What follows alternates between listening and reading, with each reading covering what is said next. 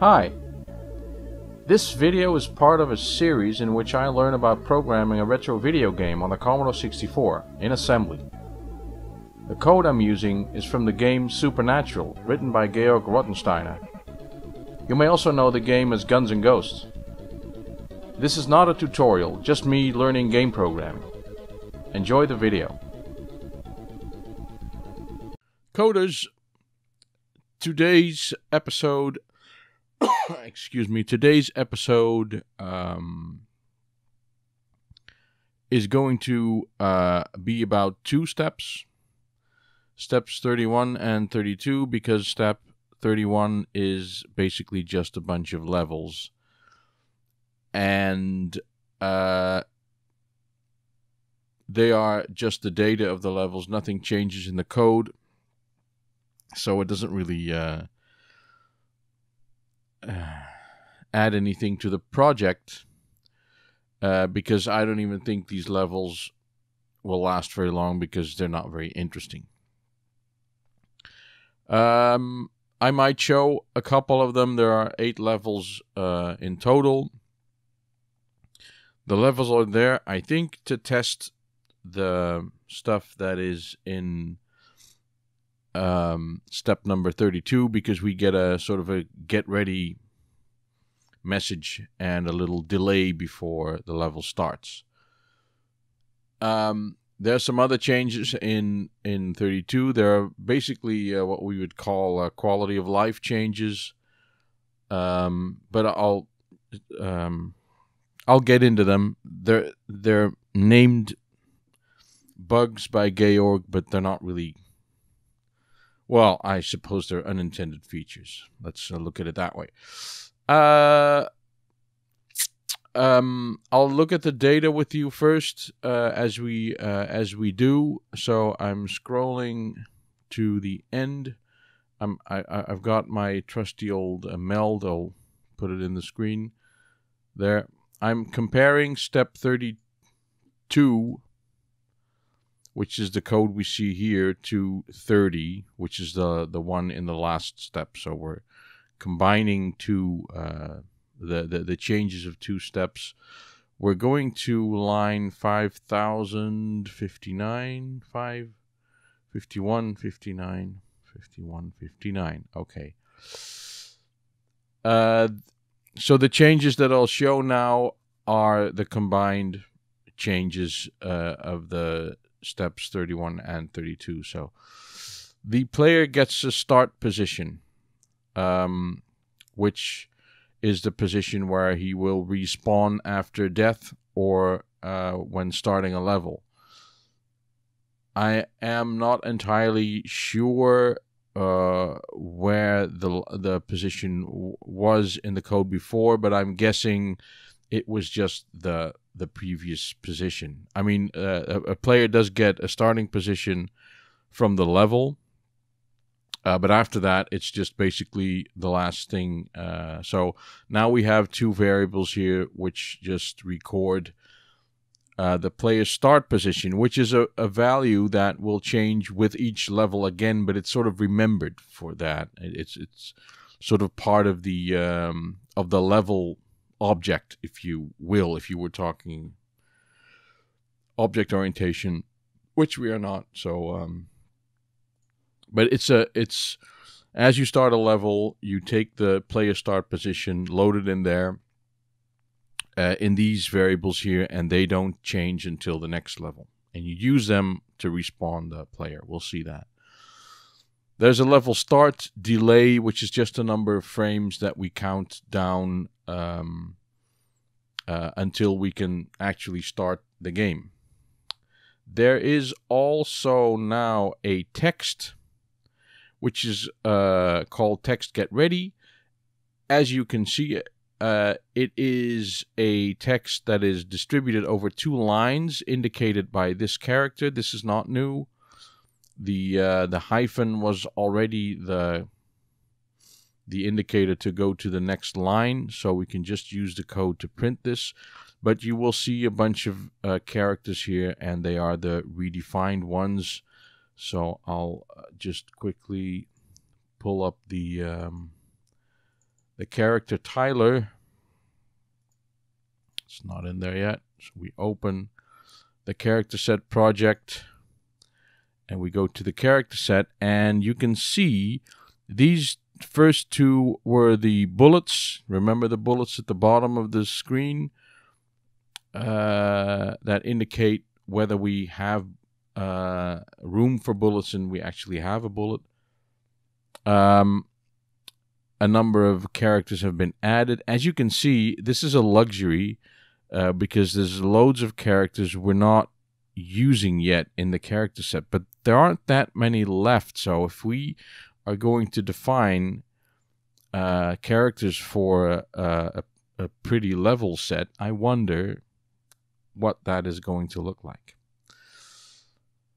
I do suppose that we, if, if there's memory left, you could always swap out character sets, which is possible because we're looking at um, we're looking at RAM for the for the character set already, so we can we can change that. But if you look closely, uh, these are uh, the tops and the bottoms of the text "Get Ready" alternated. So this is the top part of the G. This is the bottom part of the G.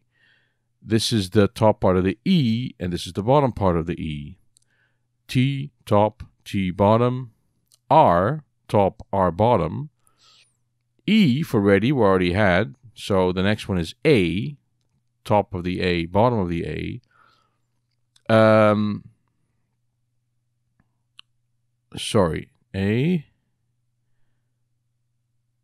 And top of, oh, there's no bottom of the A because that is the same as the bottom of the R. Then there's the D, bottom, top of the D, bottom of the D top of the Y, bottom of the Y is this one. So, and then there's the uh, exclamation point, which will have the this character. So you can construct a get ready uh, if you're intelligent about it. We'll we'll we'll see what it looks like when I run uh, the code in a minute. So that's the uh, uh, the player position and the and the the get ready. Uh, you can also see that adding levels is uh, as easy as just adding a couple of uh, uh, variables here. Um, these are labels pointing to where the levels actually are, level one through level eight. Um, this is a table indexed from 0 to 7, as you can see. And these are just the level definitions, just the way we know them. The player is placed in all these places player, player, player, bats, and enemies and stuff. So that's basically the um, the the levels um, let's have a look at what they look like, and we can also have a look at what the uh, what the code does now. Um, I'm scrolling up to the top of the code because way at the start we set the level uh, where we begin. We get the title screen and when fire is pressed, I'm still scrolling down, but not pressed, restart, player lies, boom, level. So it's set to level 7 now, so that's the, the final level. So we'll just run the code and see what happens. Supernatural, we know this, right? And there's the get ready. Saw that very quickly. And uh, so this is level 7. If I if I die now, press fire to restart, get ready. That's new. The get ready is new. I can uh, try and make the get ready a little bit longer. It's uh, the level delay is 40. Uh, although it looks like I can I can set this here. I can I'm pretty sure that it doesn't work. The, the the changes in this code are a mess. So there's a lot of double uh, uh, double code in here, and um, uh, let's just stick with the levels. We'll get to the get ready uh, later. So level six, uh, we'll see that. Uh, note that the level number is printed, and of course, in the real world, we start level counting from level one, but in the table, we start from zero. So this is level six, uh, seven, although we just typed six. So, oh, I ju- uh, jump up. You see, I I'm not really sure what the uh, what the thinking behind this. Uh, oh, I'm gonna die, aren't I? Ooh, yeah, I'm gonna die. Get ready. So that's the level. Uh, I think this was just being creative with uh, with uh, making levels. But as you can see, designing a level uh, that is interesting and playable and challenging isn't easy. And I've always thought that uh, designing a good game is like half the success. Having a good design. Level 4 well, interesting, interesting. It's it's basically all the same. There is this one level that I I think it's this one. It's the zombie level. It has a different background.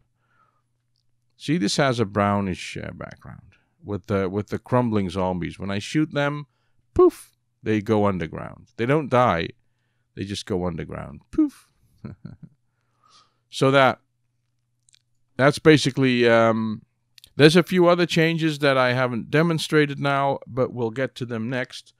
Um, I'm gonna go to the to the top of all of the changes. Go to the first one. All right, right. Well, I'll, I'll scroll way up to the top of the code.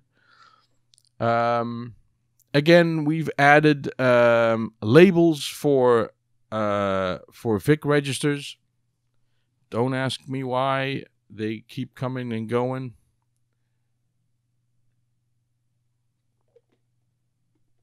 It's one of those things I can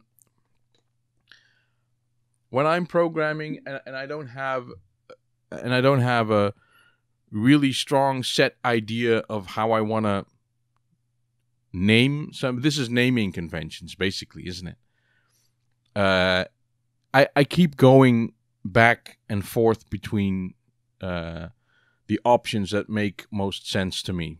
So we've had this discussion before. Is it easy? Is it better to when you program use the actual register address so that you always know in the code, even if you're reading it without labels, you'll know what the address is? Or do you train yourself to use uh, labels like this, making the code look prettier.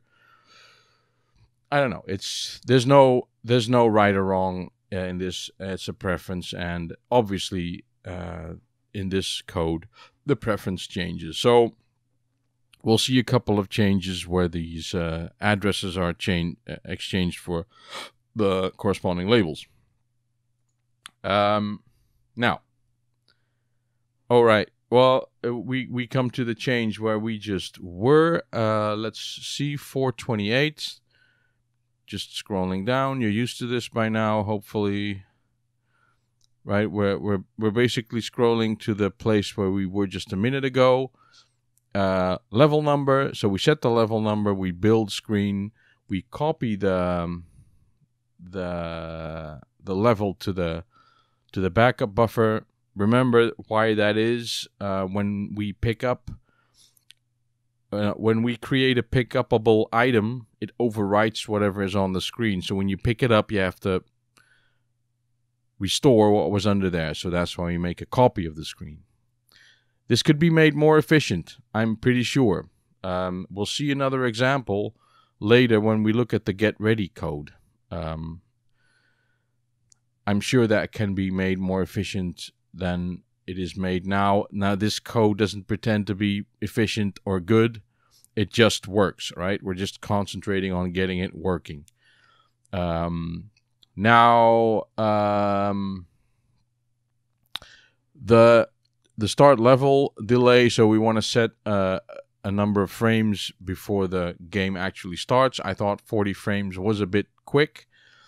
Um, but it gives you just the little moment that you need to get ready. These are also important game design things. You can see when you load up really old games on old computers and they are from before a moment that this standard was well accepted about how a game should behave, like where the player returns.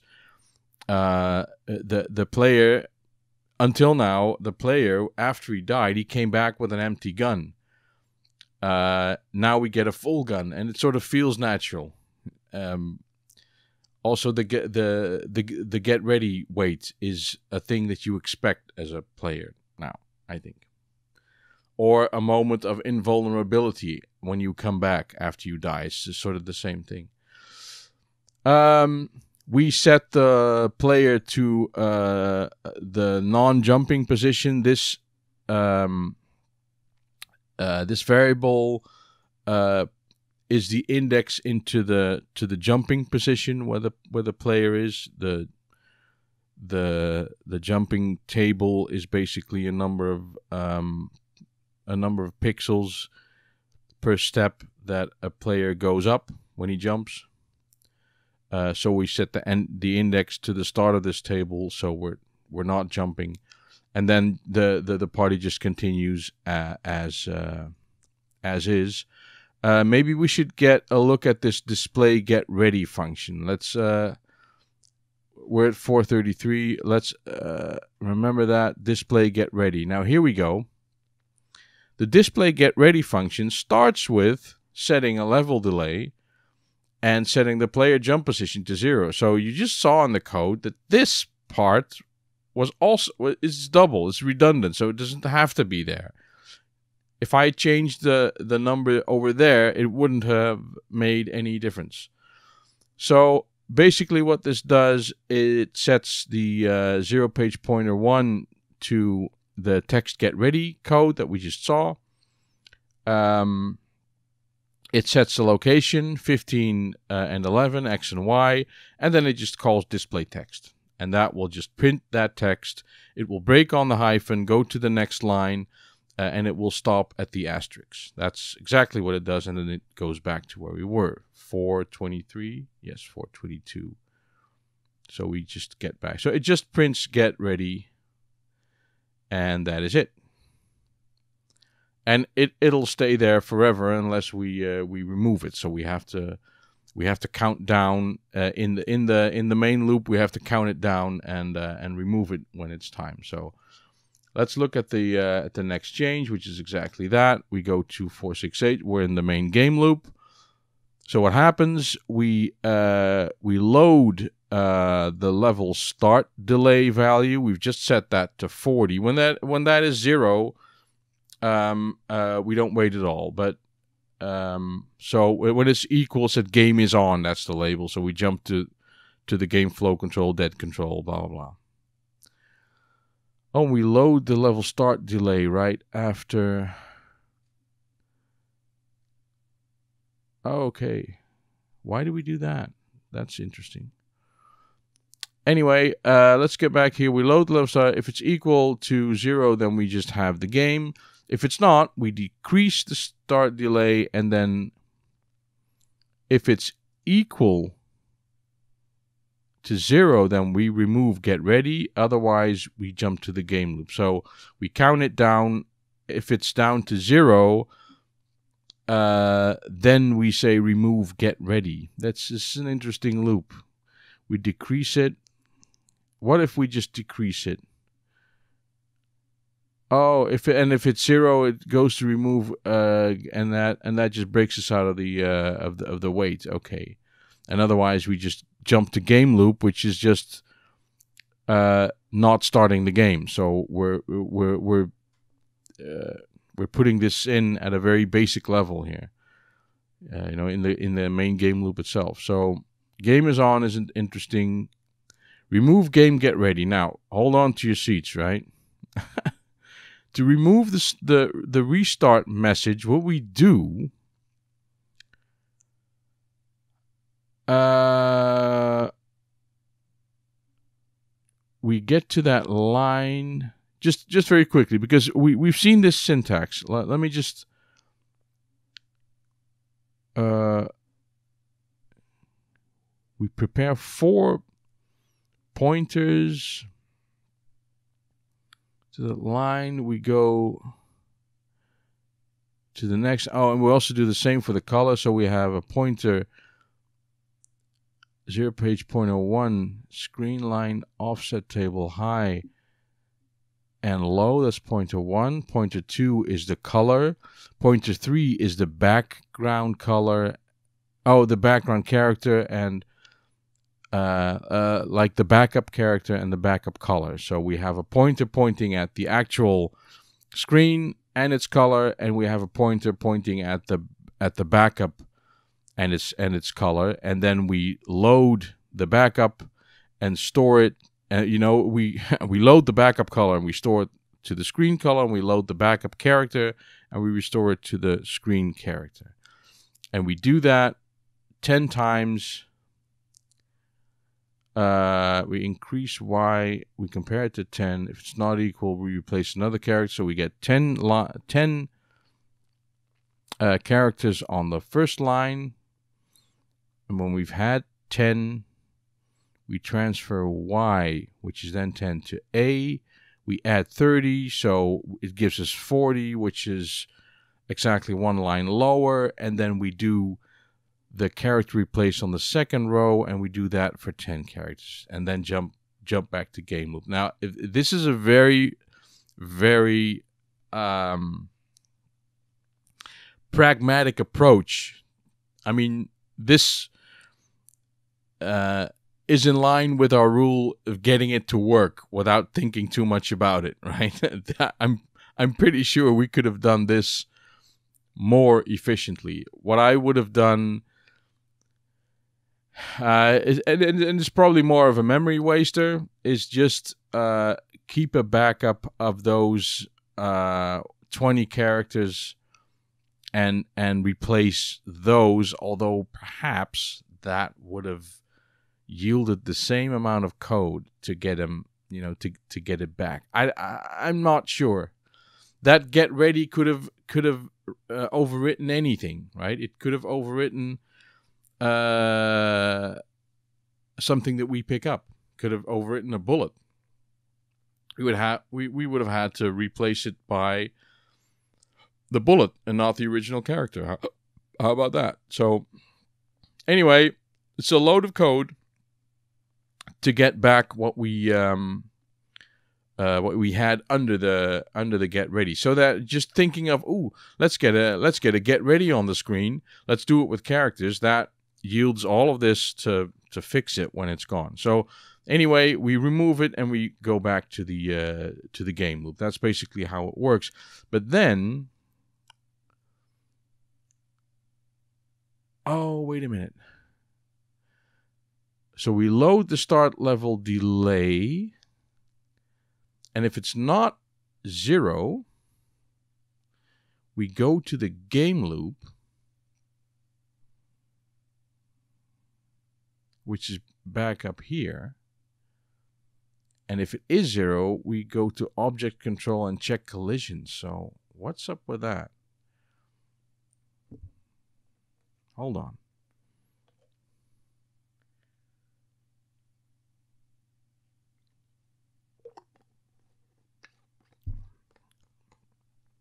So what could have happened is that during dead control, um, the get ready is set. Uh, sorry, the during dead control, yeah, the, the the level start delay is set to a value, so that we want the level to to to delay. So, and we test that right after dead control. So we immediately go back to waiting until it's over for only for us to get back. So after in the in the dead control, when the player dies, that's the only point where we can where, where we can even get one of those um, uh, start delays.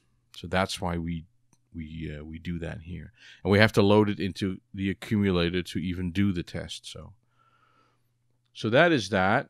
Um, I think we've had most of it. Oh, um, 471, which is in uh, this init IRQ. We don't need that. Force, for, uh, sorry, 741. Game flow control 741. Go to next level. Oh, all right, all right. Go to next level. Says display get ready, and display get ready sets the value. So anytime you call this function, the uh, that uh, wait value is set. So even after this function, we can we can get a we can get a wait. And this game flow control is called once every frame. So. Uh, or at least when the uh, after the after the wait frame, I should say that. Right, right. Okay, here's a bug that we that I'm sure nobody uh, knew about. Also, it, it, we have talked about it before, and this has to do with the items. Um, let's see. We're going to scroll to 1154. 1154. Dead control. Okay. So we die. And there's the thing when we die, uh, we want all of the objects that were there to disappear. We have we want to remove them. There was a to do here: respawn at correct position. So that we, we didn't really do that. We just spawned at uh, at the top left corner of the screen every time, uh, which was an arbitrary lo- location because that could have gone wrong. But what is new here is the remove all items. So after we've died, there's this replace, removes, remove, restart message. Okay, okay. See this code? It's exactly the same code, but it's now for the restart message. Do we we press fire to restart? This is the code that removes them. Uh, removes that 10 characters again. Right? It's, it's exactly the same code. Only we compare with 32 here. Oh, okay, okay. Well, that's funny. Okay.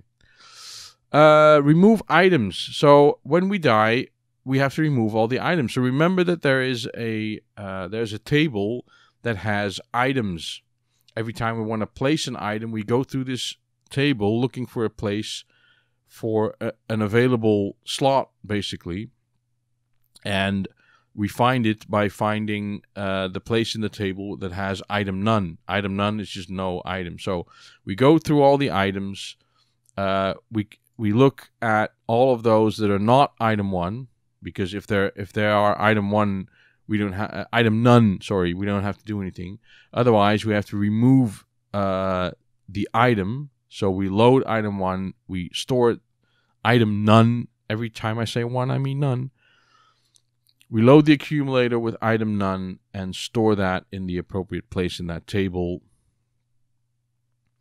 And we remove the item image. And Y points to the uh, to the item. This remove item image isn't new. We've had we've uh, we've had that for for a while. Uh, remove next item is just increase the Y uh, compared to the item count. How many items can we have uh, maximum? Um, and otherwise, we just remove the next item. We're done we refill the shells. So this this is new as well. Uh, uh, after we've died, we want to come back with a full gun because in heaven we get bullets apparently. So what we do. Uh, load X to zero, we load A with two, we store in the location where we have our bullet display, so we store the color 2 there. We load 7 and we store. That's the. Uh, oh. What is this? We increase X and we compare with the player shells max.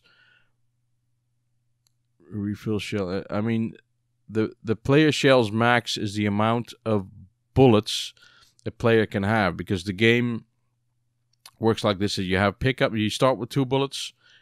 Like you can have two bullets, but you, you may not have them. You have to actually reload and then you can extend your amount of bullets. So this goes to the amount of bullets that we ma- we we can have, and in order to give them the filled look, they have to be this color. But two and seven, uh, I mean, the different colors for the top and the bottom. Yeah, because this is line 23 and this is line 24. And uh, we load the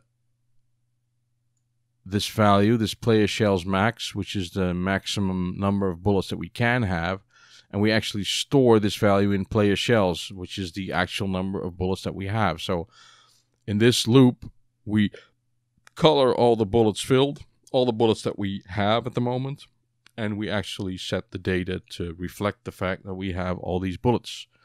And then we respawn at the correct position. So now we load the start position, uh, X and Y, put them in parameter 1 and 2, um, player type, sprite active, and then we call calculate sprite position from character position because this function, we've already uh, discussed this as well. It converts the X and Y positions, which are much coarser, uh, to actual sprite positions. So that's pixel positions. And we store this. But we have to do that because we're moving the player to a specific position. So we do that. And all of this is the same. We enable the sprite, blah, blah, blah. This is really old code that hasn't changed uh, in a long time. So, uh, oh yeah, uh, we we set where are we? Twelve hundred. Mm, okay, this yeah. X is zero. X is the uh, is the sprite number, and the player number is um, is zero. We can see that calculate sprite. Oh, see, if I hover the um, the mouse over the label, it'll show me the the zone text that is there, and you can see as a pop up, and you can see X. Oh, I can't point at it, but X is sprite index, and the player sprite is zero, so that works out. Yeah, yeah, yeah, yeah, yeah. We have some changes there bit table. This is just for the player now at this point. Yeah, okay.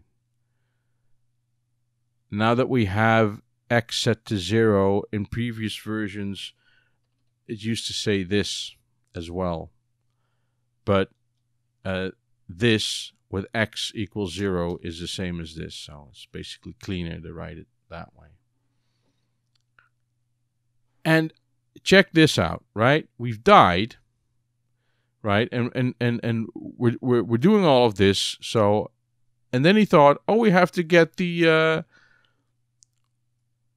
uh, the the get ready uh thing in shot. So, what happens here? He has all of the code that he's made this subroutine for and he copies it again. I think this is like the second or maybe the third time that we have this code. He could have just called um, the routine that he that he wrote, but I suppose he just. Uh, I mean, it's an oversight. We this is completely unnecessary. This is what I meant when I said this code is kind of a mess at the moment. it works, but it could be better. Um, Oh, right. There was another um, possibility. I've not seen it happen, but I, I suppose it could have. Um, items were. Um, I mean, we, we could have. The, I'm scrolling down to the next uh, change. We could be in the situation where items were spawned uh, in the border of the screen and not. I mean, uh, you know, outside the uh, the the playfield. So, in the spawn item function, um, we've added some checks to keep the item in in bounds. Now, these are the bounds uh, we're all we're talking all character positions, so uh, item position X, and this is where we check if uh, you know we compare it to 37. If it's uh, uh, if the result is minus, then that means that the position was okay, so we don't have to do anything, and otherwise we set it to the maximum position. 37 is the maximum character position that we can have any any item at. So this is sort of a, a limitation, and we need one on the. Um, oh, apparently we we cannot go lower than uh, than the left extreme position because we don't check for that. We just check the uh, the outer bounds because this is what we do here. We we take the the Y position, we compare it to 21, which is the lowest row number.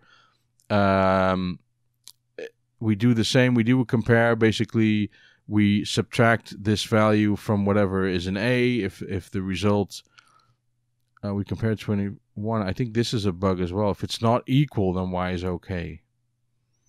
If it's not equal, so this should probably also be BMI. So I, I think this is a bug. We'll we'll be seeing this one again.